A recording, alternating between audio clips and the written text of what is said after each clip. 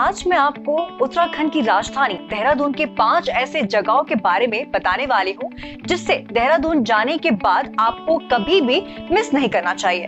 तो चलिए जानते हैं देहरादून के top five tourist places first robbers cave robbers cave को लोग गुच्चू पानी के नाम से भी जानते हैं। रोबर्स केव एक अंग्रेज़ी शब्द है, जिसका हिंदी अर्थ डाकू की गुफा है। इस गुफा के अंदर कुछ झरना भी है, जो पहाड़ों से निकलते हुए चट्टानों के अंदर से आता है। दूसरा स्थान, Lachhiwala nature park. Lachhiwala nature park एक जंगल के बीच में स्थित है, जहाँ का माहौल बिल्कुल शांत रहता है और इस पार्क में आपको शांति और आसपास के खूबसूरत नज़ारे देखने को मिलेगा। तीसरा स्थान है, Malsi deer park. Malsi deer park को देहरादून जू के नाम से भी जाना जाता है। मालसी डियर पार्क में हिरन, खरगोश, कछुआ, अजगर, तोता, मोर और एक तेंदुआ भी मौजूद है।